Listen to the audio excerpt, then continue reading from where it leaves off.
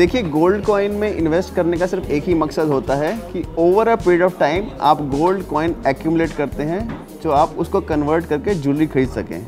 Most of the customers specially अगर आप women customers देखेंगे तो वो प्रेफर करते हैं कि ज्वेलरी परचेज किया जाए, क्योंकि अल्टीमेटली वही उसको पहनने वाले हैं, क्योंकि ज्वेलरी सिर्फ़ अडॉनमेंट के लिए होती है। सो गोल्ड कॉइन अगर आप लेते भी हैं तो छोटा छोटा इन्वेस्टमेंट करके थोड़ा थोड़ा करके आप एक बड़ा पीस लेने की कोशिश करते हैं, या अपनी वेडिंग के लिए आप ज्वेलरी लेने की कोशिश करते हैं।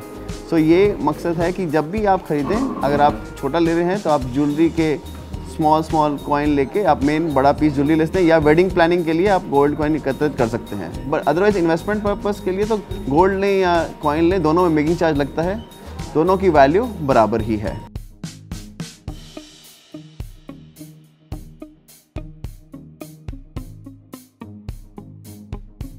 ट्रेडिशनली आप हॉलमार्क का प्रोसेस को अगर समझेंगे तो हॉल मार्क कुछ नहीं है, एक ज्वेलर जो हॉल मार्किंग सेंटर में अपना ज्वेलरी पीस अपना पूरा सैंपल सेट भेजता है। हॉल मार्क का प्रोसेस क्या है, वो एक पीस को कैरेट मीटर जो हमारे यहाँ इंस्ट्रूमेंट है, उसके नीचे लगाकर सरफेस प्योरिटी को चेक करते हैं।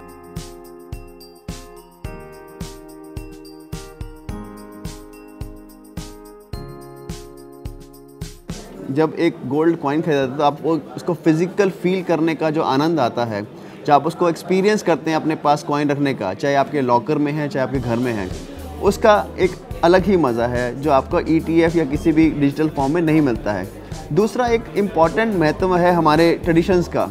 उन ट्रेडिशंस में अगर आप देखेंगे तो काफ़ी हमारे यहाँ गोल्ड कॉइन और चांदी के सिक्कों की जो पूजा होती है धनतेरस के दिन या दिवाली के दिन, वो पूजा में भी इस्तेमाल होते हैं। तो फ़िज़िकल गोल्ड एक्यूमुलेट करना एक फ़िज़िकल सेल्फ सेटिस्फैक्शन मिलता है हर ग्राहक को जब वो गोल्ड कॉइन को एक्यूमुलेट करता है versus only in digital form और डिजिटल अभी भी इंडिया में कुछ ज़्यादा ट्रैक्शन लेके नहीं आया है, बहुत ही कम परसेंटेज के लोग उसमें इन्वेस्ट या इन्वॉल्व होते हैं। हालाँकि फ़िज़िकल गोल्ड में काफ़ी रुझान देखा गया है।